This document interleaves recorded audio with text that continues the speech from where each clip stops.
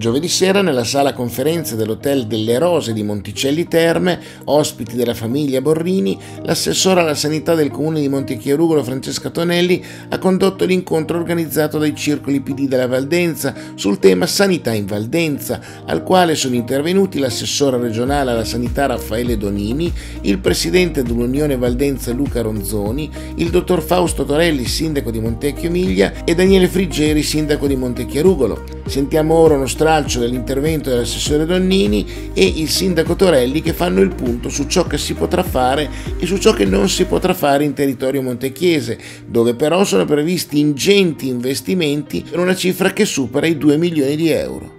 Io penso che noi abbiamo fatto già un miracolo a tenere il punto di primo intervento H12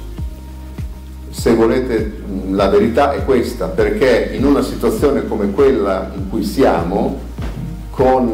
le risorse non finanziarie, professionali, che vengono sempre meno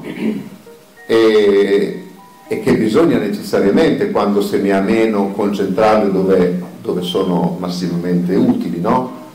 Io penso che aver identificato l'ospedale di Montecchio come un presidio nel quale esiste questo servizio eh, H12 eh, sia un, un, buon punto di partenza. CAU sono dei centri di assistenza urgenze che lavorano quindi su urgenze ma a bassa intensità, cioè dei codici bianchi, codici verdi, codici che vengono sottratti alla alta qualificazione dei pronto soccorsi.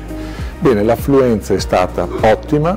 ma soprattutto il grado di soddisfacimento degli utenti ha raggiunto oltre per quanto riguarda i cavo esaminati di Reggio Emilia, oltre il 93%. Non solo, ma un altro dato interessante, solo un 4,5% delle persone che si sono recate al CAO hanno ricevuto un'indicazione per un'ulteriore visita specialistica. Questo vuol dire che molte delle patologie che si sono presentate hanno trovato una risposta, quindi soddisfacimento e risposta adeguata. Fa pensare quindi che questi CAO che sono appena stati diciamo, avviati andranno ad occupare un posto strategico anche per quanto riguarda il nostro ospedale Franchini,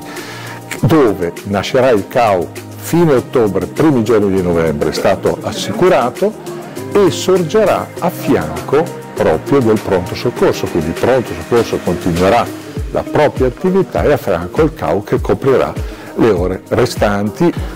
Altra notizia che è stata data molto interessante sono i livelli di efficienza del servizio emergenza urgenza, cioè del 118. Rispondono a parametri molto soddisfacenti, i tempi medi di intervento si aggirano attorno ai 13 minuti quando il limite massimo previsto per legge sono 18 minuti. La Regione ha finanziato con 1.700.000 euro la sistemazione della zona del Franchini che diventerà sede di Osco, a cui faranno seguito poi i lavori di sistemazione degli spazi per dar vita ai 20 posti letto dell'Osco.